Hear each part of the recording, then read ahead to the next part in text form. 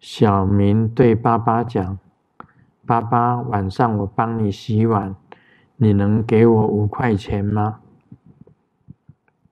那个爸爸回答：“可以呀。”结果晚上，爸爸看到小儿子，这个叫做哥哥叫小明，那个小儿子叫做小小，嗯，在洗碗，